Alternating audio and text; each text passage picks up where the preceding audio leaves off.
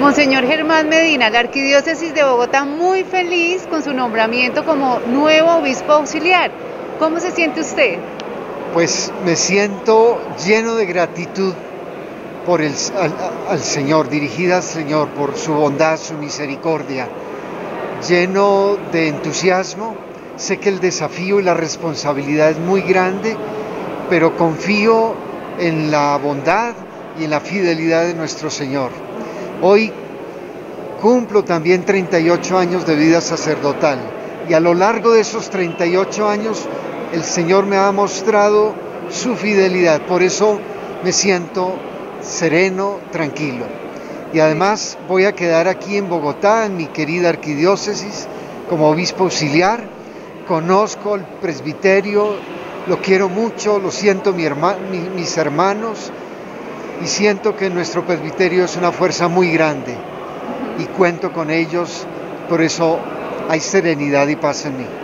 Bueno, recordemos para muchos qué significa o cuáles son sus funciones como obispo auxiliar. Bueno, yo tengo que aprender a ser obispo. Soy sacerdote, ahora debo aprender a ser obispo. Pero básicamente es, es un llamado que el Señor me hace, confirma el llamado que me hizo como sacerdote me participa de la plenitud del sacerdocio, comienzo a formar parte del colegio de los obispos episcopal y yo descubro que el Señor me pide santidad, santidad, y dedicar mi vida y entregar mi vida al servicio de su pueblo, la, la iglesia aquí en Bogotá. Bueno, son muchas celebraciones, estos 38 años de sacerdocio, este nombramiento, también en este día tan especial del Sagrado Corazón de Jesús.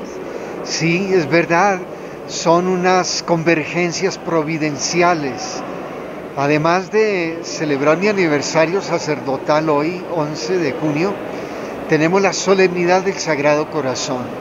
Y yo dirijo la congregación del Sagrado Corazón aquí en la arquidiócesis. Mayor gratitud, el amor de Dios se muestra de diversas maneras particularmente en este tiempo tan difícil de la pandemia y del malestar social que vive el país. Pedirle al Señor que muestre más, una vez más, su misericordia y que mueva los corazones de todos los que formamos este hermoso país. Sé que hay problemáticas muy serias, hay injusticias que no, no pueden continuar, hay desigualdades, pero el camino no es la violencia, no es el exterminio del que piensa distinto, el camino no es el odio. Jesús con su amor ha vencido el odio, la muerte y la división.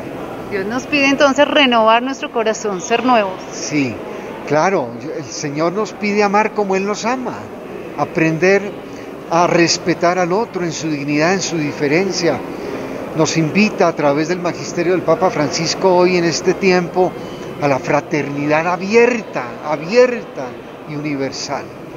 Pues eso es lo que el Señor nos está pidiendo históricamente hoy.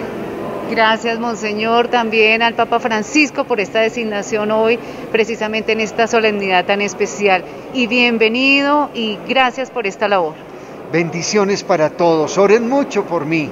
Oren mucho por mí. Esta responsabilidad es muy grande, pero confío en la acción del Señor en la fe de su pueblo, en la fuerza de la fe de su pueblo y en todos ustedes que somos miembros de un solo cuerpo. Amén. Gracias.